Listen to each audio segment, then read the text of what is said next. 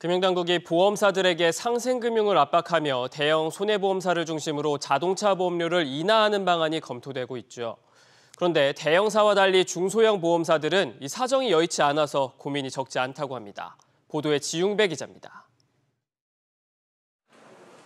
손해보험사들이 올해 3분기까지 벌어들인 순이익 규모는 무려 7조 원에 달합니다. 불과 1년 사이 45% 넘게 급등하며 역대급 실적을 거뒀습니다. 급증한 이익만큼 당국의 상생금융 압박도 커지면서 손보사들은 현재 자동차 보험 인하 폭을 조율 중입니다.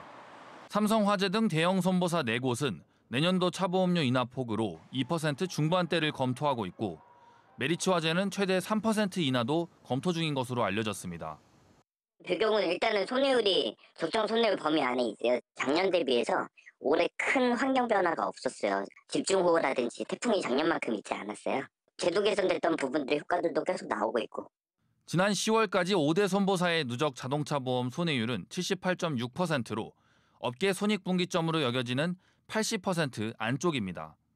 문제는 이들보다 규모가 작은 중소형 손보사입니다. 같은 기간 중소형 손보사 5곳의 손해율은 88.8%로 사실상 적자를 보고 있습니다. 그런데도 하나, 롯데 등 중소형사 5곳은 이미 인하폭을 검토 중이고 캐럿 손보는 동결할 방침입니다. 대형 손보사들은 인하 여력이 있지만 그렇지 않은 중소형 손보사들의 경우 점유율만 더 줄어들 거란 우려도 나옵니다.